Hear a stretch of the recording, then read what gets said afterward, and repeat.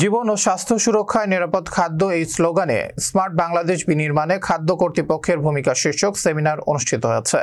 বৃহস্পতিবার পঞ্চগড় জেলা প্রশাসকের কার্যালয়ের সম্মেলন কক্ষে জেলা প্রশাসন ও বাংলাদেশ নিরাপদ খাদ্য কর্তৃপক্ষের আয়োজনে এই সেমিনার অনুষ্ঠিত হয়।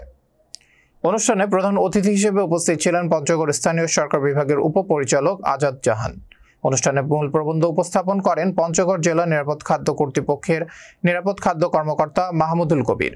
এ সময় অনুষ্ঠানে বক্তব্য রাখেন পঞ্চগড় কৃষি সম্প্রসারণ অধিদপ্তরের উপপরিচালক সুবোধ চন্দ্র রায়, পঞ্চগড় জেলা প্রশাসকের কার্যালয়ের সহকারী ফরহাদ হোসেন, জেলা ভোক্তা অধিকার সংরক্ষণ অধিদপ্তরের সহকারী পরিচালক পরেশ চন্দ্র বর্মন, বাংলাদেশ কনজিউমার অ্যাসোসিয়েশনের পঞ্চগড় জেলা শাখার সভাপতি নাজিম উদ্দিন, পঞ্চগড় প্রেস ক্লাবের সভাপতি সাজ্জাদুর রহমান সাজ্জাদ, সাধারণ সম্পাদক জামিল চৌধুরী ডলার, জ্যেষ্ঠ সাংবাদিক শহীদুল ইসলাম শহীদ, সাবেক সভাপতি সাংবাদিক শফিকুল আলম প্রমুখ।